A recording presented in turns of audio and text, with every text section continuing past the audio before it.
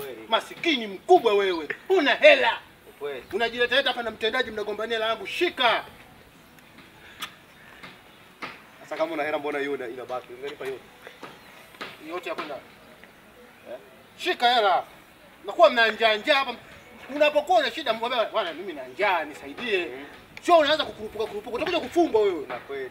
Shika Unajua unajua mambo haya ni, ni, ni mambo tu ambayo inaweza akawa yanatokea lakini ni, unajua mimi najiulizaga hivi nini? Na kale katoto kale ni kaongo, unasikia bwana? Kale katoto kanapenda wewe.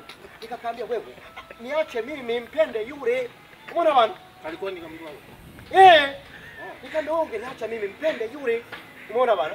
Niache mimi bora mimi nife. Yule apate. kabisa. Eh, na ndio matajiri ndio watu ambao mnao mnao mnao wategemea. Umeona? Eh. Sasa sasa mimi basi mimi na chochote. Yaani ovyo kabisa. Yaani mimi ni ovyo wewe. hae. kwanza kaenda tu usikue. Nioe hata mimi tu. Hata mimi freki tu. Hata wewe. Ah! Mimi mimi sina mimi najiamini. Alafu ngoja nikwambie. Ai, yaani wewe Ah, ngoja, ulikuwa- ulikuwa sangu lakini hizo hela. Eh. Sasa tu kabisa. Ingia kwenye gari. Ingia kwenye gari. Kivipi sasa? Ingia kwenye gari. Sasa ushachukua. Choma ndani. Wewe hera. Utaratibu ule ule, toma ndani. Ah, choma hela shachukua. Toma ndani. Toma ndani baba. Ah, hapana, hapana. Ah, sitaki. Ah.